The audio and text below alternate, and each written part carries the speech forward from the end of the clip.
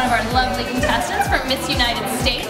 How are you doing today? I'm great, how are you? Perfect, so tell everybody a little bit about yourself.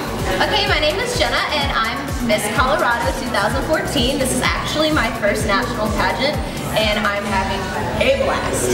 Really? Who would have thought it? Oh my god, your walk was great. Oh, thank you, thank you. I just kind of winged it, but I like to own the stage when I'm out there, so it was okay. Confidence gets you far. Confidence gets you everywhere.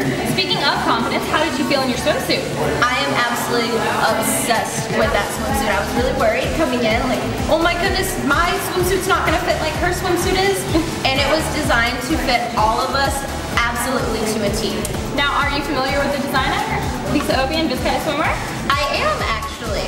So um, I checked out her stuff and I cannot wait to get my hands on my own. That doesn't come from nationals, but that's in the works.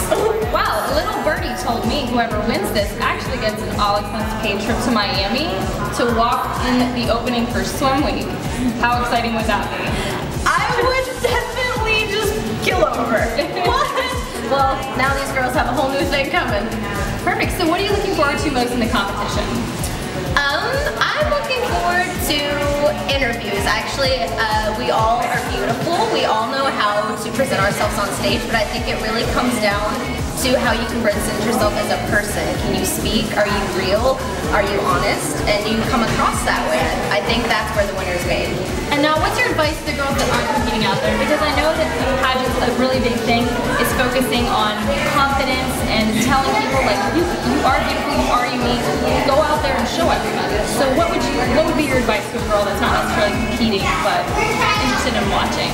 Um, I would say absolutely go for it. Even if it's not your forefront dream, I had no clue I could do pageants. I, I'm one of those girls, if I brush my hair, it's a good day. and I got out there and tried, and I won my first pageant.